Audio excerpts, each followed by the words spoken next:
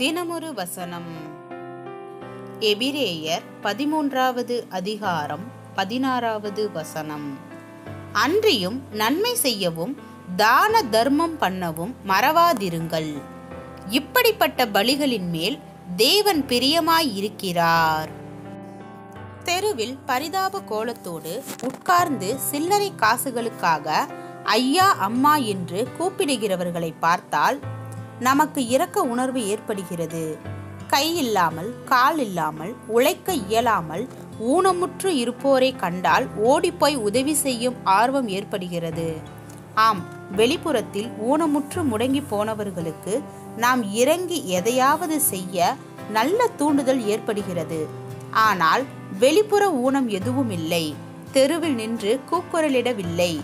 பச்சாதாபத்தையும் இரக்க உணர்வையும் ஏற்படுத்தும்படியான பரிதாப தோற்றம் எதுவும் இல்லை. ஆனால் வாழ்க்கை புயல்களாலும் சோதனைகளாலும் உள்நிலையில் ஊனமடைந்து கிடப்போர் எத்தனை பேர்? வாழ வழியின்றி விழுந்து கிடப்போர் எத்தனை பேர்? பிச்சைக்காரனுக்கு எங்கு போனாலும் உணவு உண்டு. ஆனால் ஒருவேளை உணவிற்கு வழியின்றி பசியால் துடிக்கும் குடும்பங்கள் எத்தனையோ பெற்றெடுத்த பிள்ளைகளுக்கு அடிப்படை தேவைகளை கொடுக்கக்கூட வழியின்றி அந்த பிஞ்சு முகங்களில் வெளிப்படும் ஏக்கங்களையும் வறுமையின் கோலங்களையும் கண்டு உள்ளத்தில் உடைந்து சிதறி வெளியே சொல்ல முடியாமல் தவிப்போர் எத்தனை பேர்? இப்படிப்பட்ட எத்தனையோ பேரை அவ்வப்போது சந்திக்கின்றோம். அவர்கள் பிச்சைக்காரர்கள் அல்ல. ஆனால் பிச்சைக்காரனுக்கு கிடைத்துள்ள பாதுகாப்பும் உதவிகளும் கூட இன்றி அவர்களை விட பரிதாப நிலையில் உள்ளவர்கள்.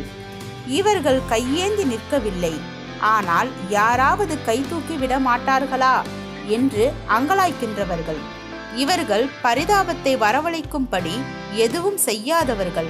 ஆனால் எங்கள் கண்ணீரை யார் துடைக்கக்கூடும் என்று ஏங்குகின்றவர்கள். இப்படிப்பட்டவர்களின் பரிதாப நிலைக்கு நாம் இறங்க வேண்டாமா?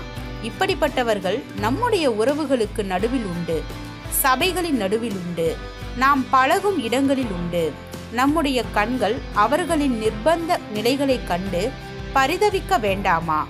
கர்த்தர் என்னை சகல நன்மைகளினாலும் ஆசிர்வதித்திருக்கிறார் என பக்தியாய் சாட்சி கூறும் பலர் மற்றவர்களின் கஷ்டங்களுக்கு கண்களை மூடிக்கொள்கின்றார்கள்.